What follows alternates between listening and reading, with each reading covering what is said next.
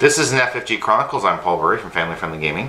And this FFG Chronicles is going to be about the all important topic of newer is not always better. And I'd like to thank you for uh, joining me today uh, with this video. And uh, if you have any comments, leave them below. Leave your thoughts below on this topic. Um, when you buy something brand new, you pay more money.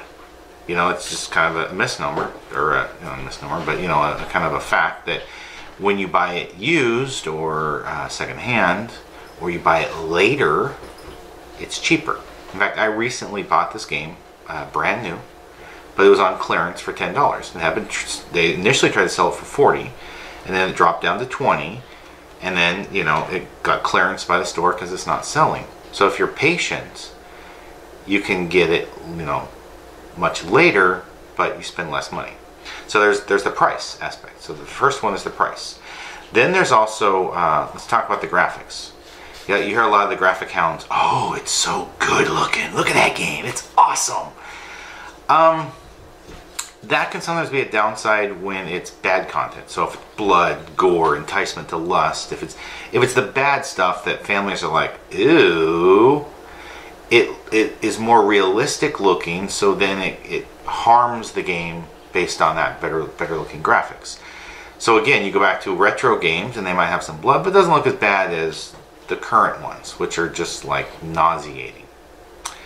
Um, the other issue is features. I've been noticing as games are coming out on newer systems, they seem to drop the features.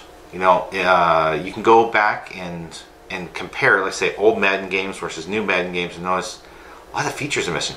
Missing uh, NHL, FIFA. I mean, EA is not the only one. Uh, 2K Sports as well. You can go back and look at some of their old ones and be like, wow, there's a lot more features back then, back in the day. Yeah, there were.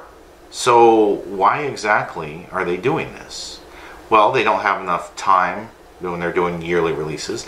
Uh, the memory, they're focusing on the graphics and one new feature and they're not really paying attention to all the stuff they had in the past. In fact, it's always funny when, when I read the press releases from the companies that there are leaving things out and they don't tell you that. It isn't like, oh yeah, we've dropped all these all these um, modes. It's always funny when when I think uh, last year 2K 2K Sports bragged about how they brought back the um, Olympic teams. Um, wait a minute, where'd they go?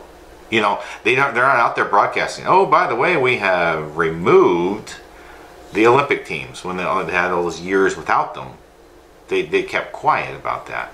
And so they're, they're not trying to draw attention to it. So that's one of the things that, you know, we like to do is say, hey, wait, you forgot that. Um, the other aspect is like, say you get a brand new system, you're going to have less games on it. There's going to be less um, things to play.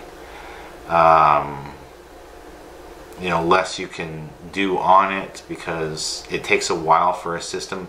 I, I talked to a lot of people they're like yeah I wait a year or two for a new system to see what comes out and what I'm interested in and and then they'll get into it. And usually again you get back to the price issue. So like I said if you got comments leave them below. I'd like to thank everyone watching. Have a wonderful day